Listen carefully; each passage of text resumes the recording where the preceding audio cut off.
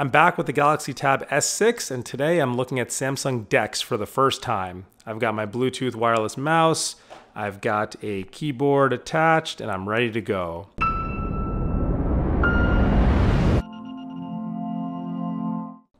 So what I'm really looking at today is if Samsung DeX is a viable alternative to something like a Windows PC, Chromebook, Mac OS, am I really able to be productive on here and use it like a traditional computer? So we're booted up. First thing I notice is that there's some app icons on the desktop like a regular PC. There's a DeX button on the bottom left instead of a start button. So I guess you can exit DeX here. This is probably my app drawer. We've got recent apps, home button, back. We've got some more apps down here. On the tray here, we've got some other notifications, your keyboard, volume adjustment, and screenshot. That's convenient. So first thing we want to do is test out the Samsung browser and see if you get a real desktop grade browser experience. So we'll boot that up. We've got Google. Let's open up a few tabs. So it is loading up the desktop versions of websites, which I always like. I hate mobile versions of websites. Let's open up a few more. Oh, not in the...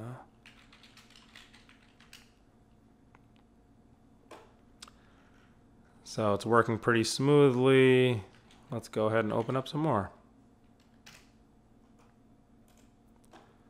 Reddit. Pretty fast. Can flip through tabs.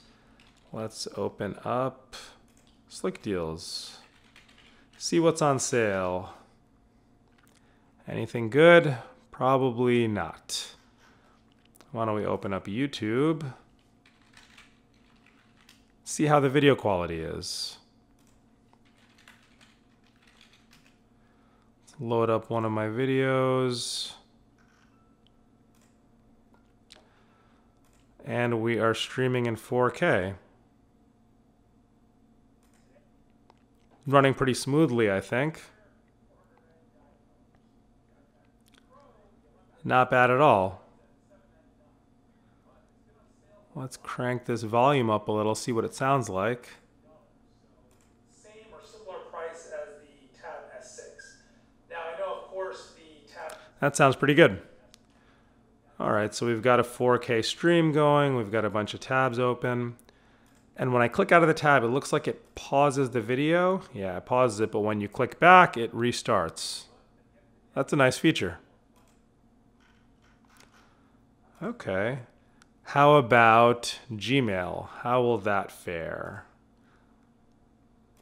Let's go ahead and open up Gmail and see if we can get our Google Docs. Okay, so we're in our docs. Oh, and this works exactly how you would expect. Got some scripts here. Oh, it works pretty nicely. Typing is fast, responsive. So in terms of using a real desktop web browser, this Samsung browser actually does an excellent job. Highly commendable. Let's see what else we've got. Let's close out of here. Oh, actually, let's minimize it. We've got our Gmail app, which we can open. Maybe? No? Let's see. Ah, yes, there we go. So that's open. We can get our Play Store. Looks like we run into a little bit of a glitch, maybe. Or I just don't know what I'm doing. Let's see here. Now, I imagine that not every app is going to work perfectly with Samsung DeX just because it's, you know, pretty new and not everything is optimized for this.